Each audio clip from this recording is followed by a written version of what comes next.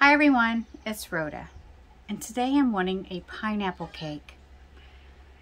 I have, I have a box of this, and I don't usually make cake with this, and this was gifted to me.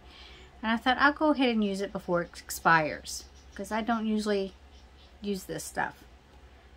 So I thought, I'll just make a pineapple cake with it. Follow along and I'll show you how I make this pineapple cake. In my metal bowl, I'm going to put one box of yellow cake mix. On the box, it tells me to put in three eggs and a stick of butter. So I'm going to put in the stick of butter, melted, and the three eggs. Because I want this to be a moist cake. I'm going to stir the, mix that in. I'm also going to add in one 20 ounce can of crushed pineapples. Juice and all, the whole thing.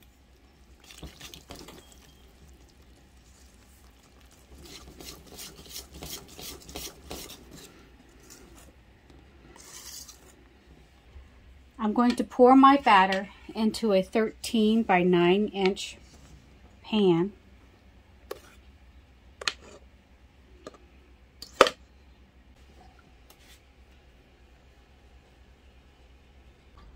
It says to bake this for 35 to 40 minutes at 350 or until your knife or your cake tester or toothpick, whatever you use, comes out clean.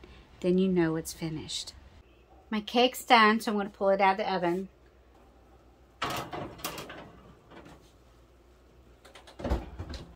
The frosting for this cake is super simple.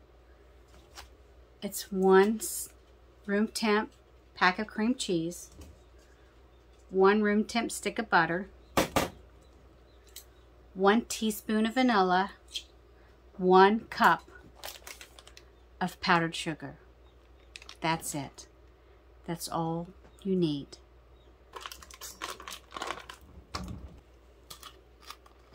And you know your cap is also one teaspoon. So I'm just going to pour it in my cap. And I'm going to mix it together with a fork.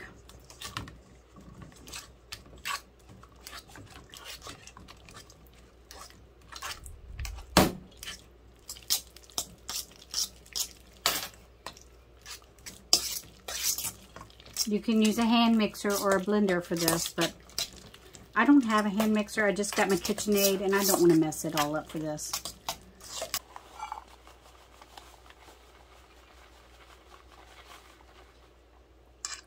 One cup powdered sugar.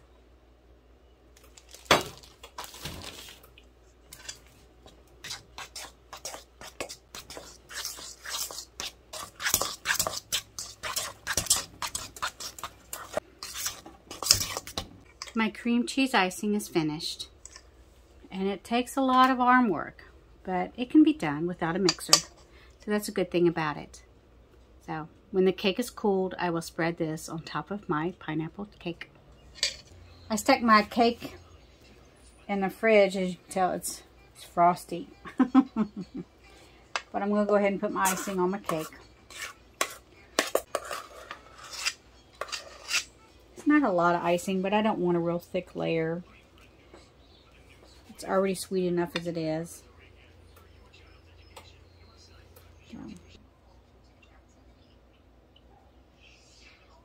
This cake turned out really good. It's moist. Look at that icing on it. It's not dry at all. It's a really good cake Let me taste it.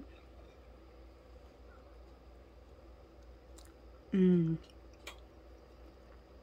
It's got a lot of pineapple flavor. Mm. And that cream cheese. It's really good. I like it a lot. Let's see that. And it's not over, it's not like really overpowering in sweetness. You know how some things are like real sweet. This is really good. It's got a good balance. So I hope you enjoy this cake. And it's really easy and simple. Until next time, God bless you all. See you again.